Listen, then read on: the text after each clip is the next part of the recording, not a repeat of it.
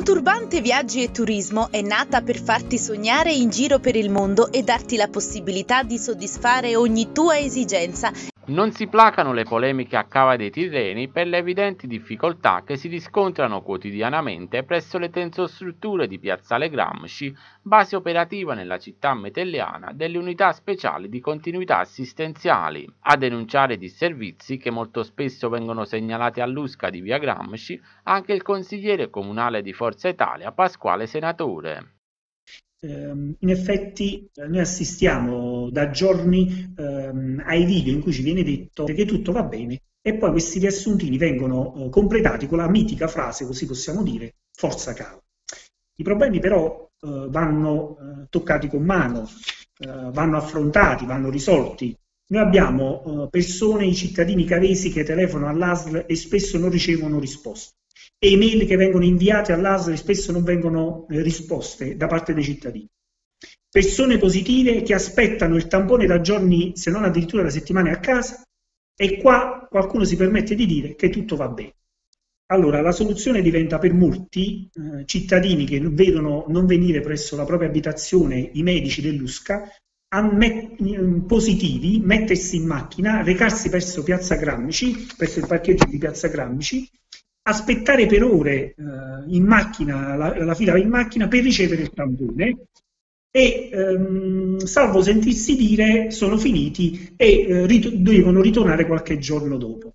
Il tutto perché tra Cava e Costiera Malfitana vengono eseguiti solo 700 tamponi con un'utenza di 100.000 abitanti. È veramente assurdo. E nella realtà ce ne vorrebbero almeno il doppio.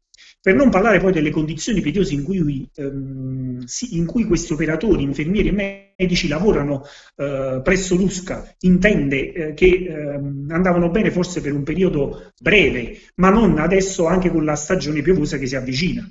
Ehm, allora mi domando ehm, queste problematiche quando verranno risolte? Per non parlare ancora di, eh, degli infermieri che per l'assistenza domiciliare sono in un numero bassissimo rispetto all'utenza. Eh, parlo dell'assistenza eh, domiciliare per persone anziane o per persone affette da patologie oncologiche.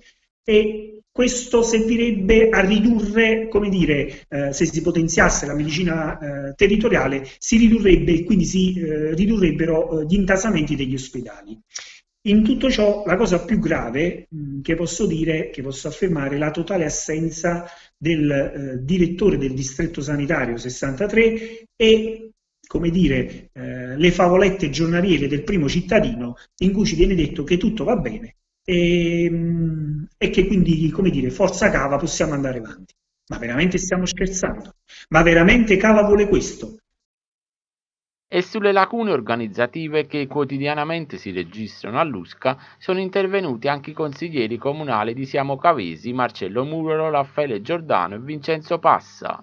Nonostante le garanzie dell'amministrazione che nei giorni scorsi aveva rassicurato i cittadini comunicando che sarebbero arrivati altri due medici, il sistema è lento e non dà risposte adeguate ai cittadini. Sarebbe utile, si legge in una nota, aumentare il numero dei tamponi giornalieri da effettuarsi in più punti della città. Dal canto suo il sindaco Vincenzo Servalli ha fatto sapere che il comune attiverà una procedura rapida per l'acquisto di alcune migliaia di tamponi che saranno destinati all'USCA per integrare la dotazione disponibile.